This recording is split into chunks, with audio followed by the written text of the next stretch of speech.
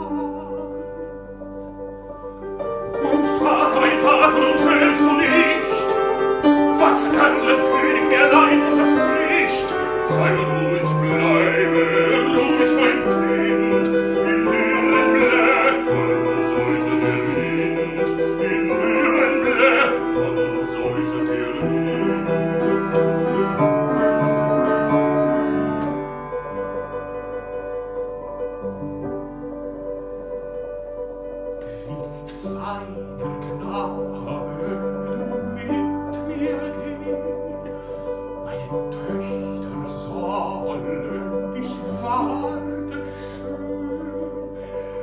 meine tür ist so schwer nicht dich ich und du ihr not habt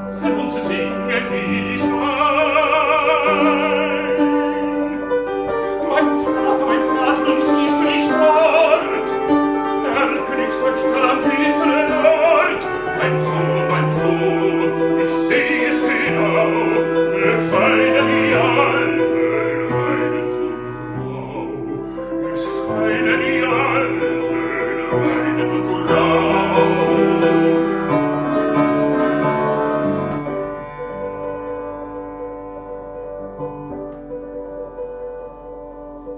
Ich lieb' dich,